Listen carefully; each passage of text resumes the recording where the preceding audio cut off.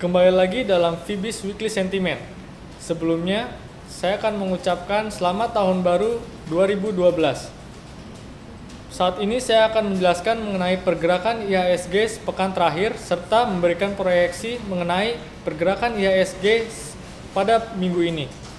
Pada minggu kemarin IHSG bergerak sangat konsolidatif. Hal tersebut disebabkan minimnya transaksi di penghujung tahun 2011 namun untuk pergerakan IHSG di minggu depan akan terdapat tekanan dari fundamental baik negatif maupun positif. Mari kita lihat untuk fundamental positif sendiri adanya window dressing ditunggu-tunggu oleh para pelaku pasar di akhir tahun.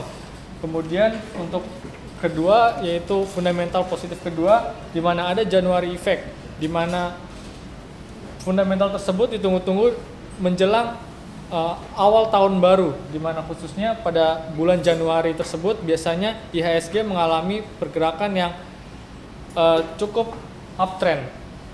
Kemudian untuk fundamental negatif sendiri, yaitu adalah belum kondusifnya krisis Eropa masih memberikan tekanan bagi para pelaku pasar sehingga para pelaku pasar enggan untuk bertransaksi lebih banyak di bursa saham.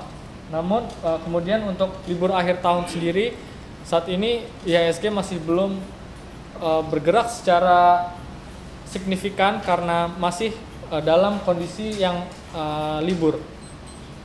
Kemudian untuk mari kita lihat untuk technical indikator selama satu pekan terakhir IHSG bergerak cukup konsolidatif di mana dari indikator stokastik MACD maupun exponential moving average memberikan sinyal yang konsolidatif baik itu chart daily maupun weekly.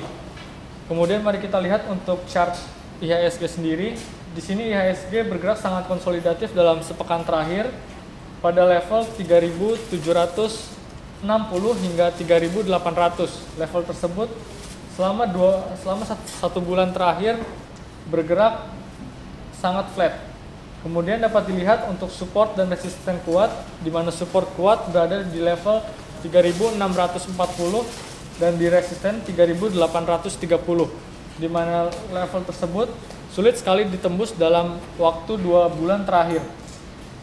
Sedangkan untuk di pekan ini IHSG diproyeksikan bergerak di level tersebut di mana bergerak masih cukup konsolidatif. Namun jika IHSG mampu menembus level resisten di 3830 maka IHSG akan berlanjut ke level resisten berikutnya di level 4000 dapat dilihat untuk indikator MACD bergerak sangat flat di mana histogramnya sangat tipis.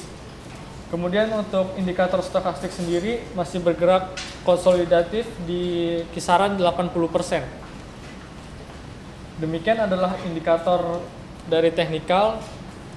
Untuk kesimpulannya adalah pada minggu lalu IHSG bergerak cukup bullish pada fundamental analisisnya, namun untuk secara teknikal sendiri cenderung bearish, namun tidak signifikan. Dan diproyeksikan untuk pergerakan minggu ini IHSG bergerak naik, untuk teknikal itu bergerak cukup bullish, sedangkan untuk fundamental cenderung bearish namun tidak signifikan. Eh, demikian adalah penjelasan dari saya mengenai pergerakan IHSG untuk sepekan ke depan. Bersama saya Gani Prasetyo Aji, salam investasi.